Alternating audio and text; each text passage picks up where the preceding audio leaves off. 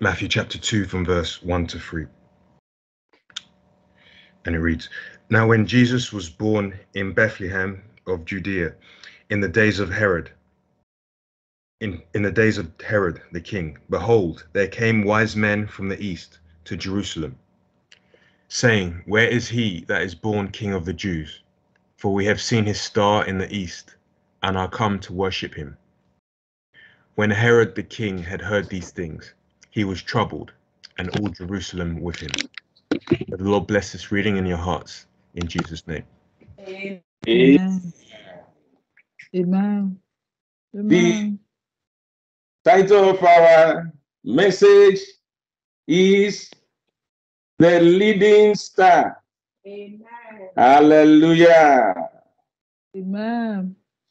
As we read from Matthew 2, chapter 2, verse 1 to 3, it tells us of wise men that came from the east and were led by the star, by the leading star, and then they came to Israel and left the star, went to Jerusalem.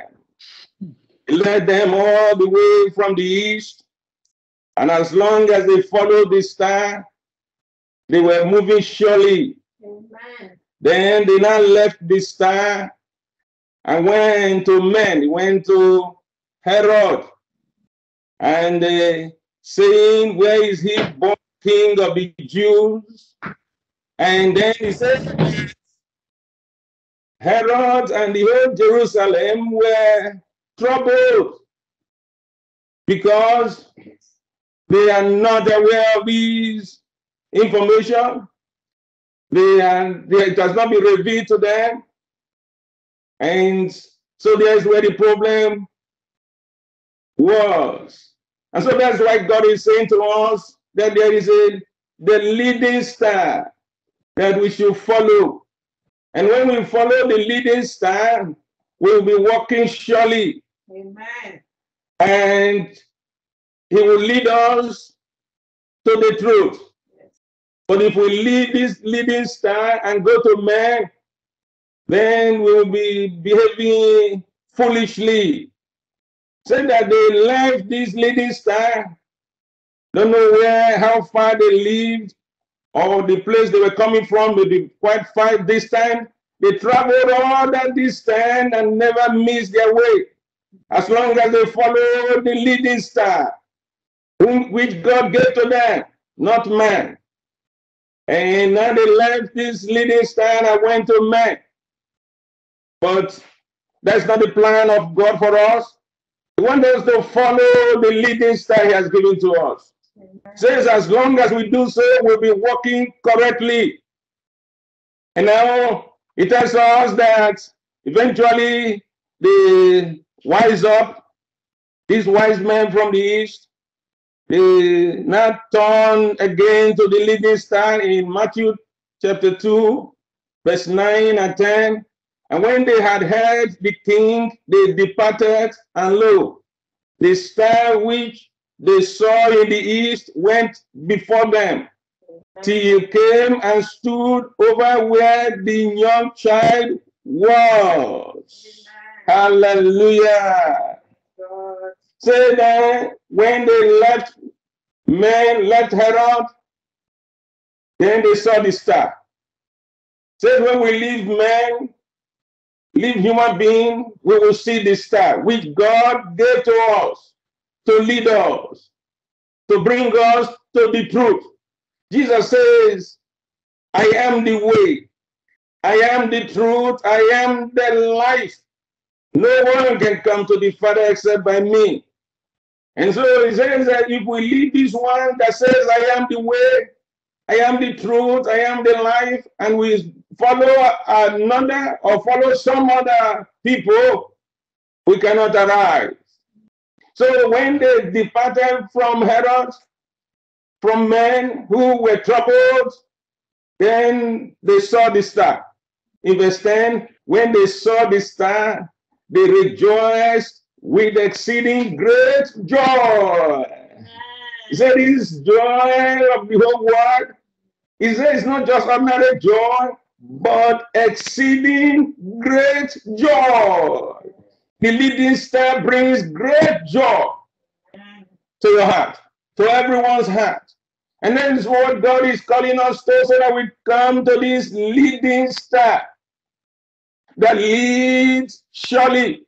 You know, when they lead you, lead you no matter the situation. The psalmist says, Oh, shepherd of Israel, thou that led Joseph like a flood, thou that dwell between the cherubim, shine forth. He is a light he said, when he will lead you, you know, when he was leading Joseph, everything went well. No matter the attack they tried to against Joseph, could not stop him. He was moving. And now he's saying that when they saw this star, they were so happy. They were filled with exceeding great joy. God wants us to see this star. But he said there's a problem. The problem is what is leading us. That's why he said this by prophet Isaiah Isaiah chapter 9, verse 16. For the leaders of these people cause them to err, and they that are led of them are destroyed. So the problem we have today is what is leading us. He said the leaders, other things leading us is what is causing us to go wrong. What made the wise men that were walking where to go wrong was that they went to men. And then those who are led that way is the way of destruction. That we should come the way of the leading star. We should come the way of the word of God. You know that word of God is the leading star. There's none else. He is the same. God gave us this leading star to lead us and to lead us all the days of our life. He does not end. You know, the star was always there. The fact that they left the star did not remove the star. It was always there. Just like in the night, during the night, we don't see the sun. The sun is still there. It is the earth that turned away from the sun. That's why there is darkness. And so it says that when they left the star, they fell into darkness. That when we leave this star God gave to us, that God gave us the Bible to lead us to God. Jesus says, if you continue in my word, you are my disciples indeed. You will know the truth, the truth will make you free. So that star that led the wise men from the east was symbolic of the Bible today. Amen. The word of God is that day star as we study in the Sunday school, the day spring that lead us to God. And he has come. He's visited us from up on high. The word of God was made flesh, which is why we have Christmas today. The, to shine the light on us. He said, He that followed me will not walk in darkness, you have the light of life. What light? The light of God. He will lead you to the true God. And you know, he said the leaders, what is leading people, leading us is causing the confusion. And the, the scripture tells us this in Isaiah concerning the fake leading of Satan and what God said concerning him in Isaiah chapter 14, verse 12 to 14. However, thou falling from heaven, O Lucifer, son of the morning, however thou cut down to the ground, which did weaken the nations. Then Satan is the one weakening people, was weakening, making them weak, can follow the truth. But the truth today, the scripture is saying to us that he has fallen. He is not to lead anyone. He cannot lead anymore. He's only those who allow him to lead them, he's leading. In verse 13, for thou hast said in thy heart, I will ascend into heaven. I will exalt my throne above the stars of God. I will sit also upon the mount of the congregation in the sides of the north. I will ascend above the heights of the cloud. I will be like the most high. He is not the most high. Is you can hear what the scripture is telling us? The Satan want to become the leading star. He says, I will exalt my throne above the stars of God. I will be the leader over all of the stars. But he's falling. He has been pushed down. You can also push him down from your life today. Amen. Remove them as the wise men finally departed from Herod and from men. That is how to remove all evil leading. And then come to the leading star. The leading star says that Satan is falling. The leading star says that all others are fake leading, except I am the one, the good shepherd, Jesus says. And so that's why God gave us the Holy Scriptures to lead us. And everyone that is of the Scripture, the Scripture make them start. Everyone that is leading people to the truth of God is like a star that led those wise men. Oh, hallelujah. And that's what the book of Daniel tells us in Daniel chapter 12, verse 3. And they that be wise shall shine as the brightness of the firmament, and they that turn many into righteousness as the stars forever and ever. This is what Satan is boasting that he will exalt his throne above the stars of God. You know, every child of God, including the holy angels, they are stars. It's God that made them stars. So because they lead people to the truth, to the leading star, they shine. Amen. Because they lead people to the leading star, they are wise. Yes. As the wise men, you see, that's why they're called wise men came from the east. So those who are led by the leading star are called wise people because he is the only wise God, the true God. The God of the Bible is the wise God. And so he says that those who lead people to the truth of the Bible, they shine. They shine as light because the light of God is upon them. They are light carrier. They are telling people the truth, turning hearts to the truth. See what Jesus said himself in Revelation chapter 2, 22, verse 16. I, Jesus, have sent my angel to testify unto you these things in the churches. I am the root and the offspring of David and the bright and morning star. What a leading star. He says that all these testimony you are reading in the Bible, I am the one that sent my angel. I'm the one that sent the prophets. I am the one that sent the apostles. I am Jesus, the leading star. If now you can follow me. He said of John, he said John was a bright and shining light. John the Baptist. And you were willing to rejoice in his light for a season, but have a greater light. The, the very words in the Bible is my light, Jesus says. It will lead you to me. When you follow the scriptures, he said, You will come to me. To told the religious, he said, You search the scriptures, and then you think you have eternal life, but they are they that testify of me. And so, like the wise men coming from the east, God is calling us today that we should be wise. We should follow the leading star. Jesus says, I am the bright and morning star. That is, the star is here with us today, is in the book. So if you follow him, you will arrive. That the word of God is in the Bible. And this same word of God came as a human. On, as you say, on the Christmas day when he was born on earth, does not matter if some people argue about the day. That is not the issue. The issue is that the word of God was made flesh and dwelt among us, and he was called Emmanuel, God with us. And so he's saying that I am the bright and morning star. That when you follow me, you will not walk in darkness. Amen.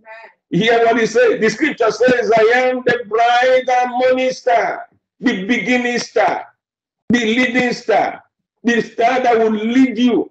And when he lead you, he will lead you to the right way. He will lead you to where God is. Say that when these wise men follow the star, they came to where the child was. The star brought them to the exact location where the young child was, and then they rejoiced. And so that's why God is saying to us that he's, He gave us His word so that the word of God will bring us to where He is. Amen. That God is a spirit. That spirit gave us the Bible. Now, if we must come to Him, He said the only way we can come to Him is through His word. That the God we are looking for is in His word. And that if we must come, we must not come through a medium. We must not follow another system that can never bring us to God. We should come to Him. And that if we come to Him, we come to the right way. We come to He that will not lead us astray. We come to He that will not distress us. And that's why there's joy today. It brings joy. Say the people who were sorrowing before. You know, when they went to Herod, the wise men, when Herod and Jerusalem is in trouble, so the trouble has transferred to them. They are also in sorrow. But we say as soon as they left Herod, left men who were distressed in Jerusalem, and they saw the star, joy filled their heart. God wants us to leave the system of man, the system of sorrow, and see the system of God. That God has given you hope, giving us hope. He said that hope is Christ. That hope is the word of God. That hope is the good news of the Bible. That God so loved us, he gave us his son. Amen. He said, No one can deny you of this. You can receive this joy today. And that's why St. Peter said this in Second Peter chapter 1, as we study a bit in the Sunday school. Hear what he says in 19 and 20. We have also a more sure word of prophecy, whereunto you do well that you take heed as unto a light that shineth in a dark place Amen. until the day dawn and the day star arise in your heart. Apostle Peter says, we have a more sure word of prophecy, which we are to follow. He is like that star that was shown to the wise men of the east. Say he's shining more and more in his dark world. And then if you take to this one, he will bring you to where God is. Amen. Not physically, but in your heart. He will take your heart. This light guides the heart. He will take your heart from dead places, from dark places to the place of light. He will bring you to the dwelling place of the Most High, where God is. You know, God dwells in light. In Him, there's no darkness at all. He said that light, Apostle Peter says in verse 20, is the scripture. Amen. Knowing this first, that no prophecy of the scriptures of any private interpretation. So once you enter into the scripture, you have entered light. That's why he, everything about him is day. He's the day's man. That's not natural day. He's the day spring, the day star, the morning star, the leading star. He will, he will break in your heart, and then darkness will end. Amen. All ignorance about God will end. You come to believe in the Bible. You come to see the God of Abraham. That is a great secret. It's a mystery. That when you hear, I am the God of Abraham, the God of Isaac, the God of Jacob, is the God of the Holy Bible that appeared to Abraham and changed him. He lighted upon him. And then he said, that same God can light upon you today. He said, when he light upon you, darkness will leave your heart. Idol worshiping will leave your heart. Every fake Herod that you were giving yourself to will leave your heart. Amen. You will not go to men again. You come to this shower of prophecy. You come in, in time and time again. You wake up in the morning. You wake up in this bright light. You have understanding. You pick up the Bible. You are reading it. You know that He is that day dawn and the day start. You say, "I've entered the day today." Let it be so from now on, because that's why He came. Jesus came so that he would turn our eyes from darkness. He would remove darkness from us. That's why we have Christmas. He came today so that he will turn us from the kingdom of darkness to the kingdom of his dear son, the kingdom of light. He will turn us from the dead flesh to the word of God. That the word of God has come. He has given us understanding that we may know him that is true. That we are in him that is true, even in his son Jesus Christ. That this Bible is the true God and eternal life. Now he says that many of his people are destroyed because of lack of knowledge. So they have left him. Can you imagine? These men that were moving well left the star and then went to follow men. Are you moving well? Were you moving well? Then you leave the Bible? You now give yourself to human being, give yourself to some great man. He said that is that way that we should follow the leading star. That is the significance of today. That Jesus came as that true light, Amen. the Bible light, so that it will be shining in any generation. It can shine in your home today. Amen. He said, when it is shining, it will be shining not only in you, you also become a carrier of it. Amen. You know, when those wise, wise men, when they finish, they carry the news and then went to tell that we have seen him. And so that others will come to that truth. And so that's why God is showing us the true Christ. That the true Christ is this sure word of prophecy, which many have taken away. He said, Don't do so. Bring him to your home. Let this day be a day that you remember that the word of God was made a human. That the word of God is not ordinary. That same word of God we have in the Bible today as a testimony that of the truth, He is our God, He is our guide, He will lead you all the days of your life. Hallelujah. Oh, what a God we serve. Come and see Him as you have seen Him. Let the joy fill your heart today as you carry on rejoicing Amen. going on rejoicing like the shepherd in the fields. They were going on, they were rejoicing, singing and praising God and say, Come and see the light, the light of God. Come and see the light, oh, hallelujah, praise the Lord. Jesus is the light, the light of God. Come and see the light, oh, praise the Lord. Hallelujah. Amen. Is the Bible light. It's a wonderful light. He said, This Bible light, when it enter you, light will enter you. It will give you understanding, even to be simple. You will be walking surely. So we are going to pray. that Jesus is not imagination. He is a true leading star. He will lead you. He will lead you anywhere, anytime. So we're going to pray and say, God, as you have shown to us, you have given us revelation that this Bible is that leading star that led the whole multitude in the wilderness 40 years in the night, turned to pillar of light, pillar of fire. And then when anything came to pursue them, including Pharaoh, he blinded the enemy. Oh Lord, let this light blind all sickness, blind anything pursuing any one of us this year. He said, It's going to follow you to New Year. It's not going to follow you. He said, Let this light of God put them in total darkness, and then you shall escape and cross to the other side. Pray in Jesus' mighty name. Almighty Savior, eternal life,